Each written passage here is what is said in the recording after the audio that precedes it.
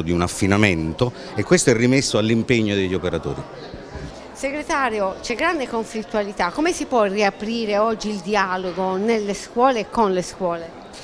Nelle scuole si può riaprire il dialogo guardando alla scuola come comunità quella bella comunità che ci è stata affidata dalla storia, dagli organi collegiali e che oggi vede chiaramente un po' eh, un, un, inasprimento dei rapporti. Probabilmente le regole che la buona scuola ha voluto inserire sono regole che vanno anche interpretate.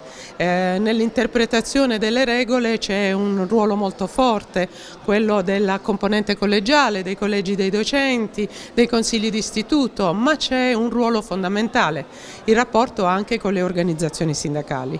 È un momento delicato, eh, c'è un, una necessità, la politica deve porre alla scuola quell'attenzione giusta perché il dialogo sociale potrebbe mettere anche eh, a sistema tutto una parte una essenziale della riforma. La mobilità, il contratto sulla mobilità è stata una dimostrazione, abbiamo potuto sottoscrivere un contratto, un'intesa con eh, questo Ministero che per alcuni versi ha aperto a una prima discussione. Oggi ci troviamo alle, alla vigilia di un momento delicato, un'avvertenza per i dirigenti scolastici.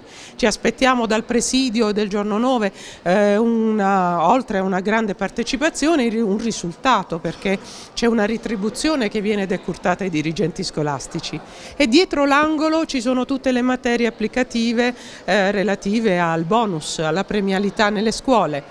Ancora una volta il dialogo, la condivisione, la definizione di regole condivise a livello di istituzioni scolastiche e richiamate un po' da quella bella idea di concertazione che qualcuno ci vuole togliere ma che diventa sempre più necessaria in questo Paese, sono i nostri obiettivi. La CIS Scuola è pronta al, ad aprire questa discussione, nessun, nessun ostacolo pre, pretestuoso ma l'obiettivo di portare meno conflittualità nella scuola. Noi non abbiamo bisogno di conflitti.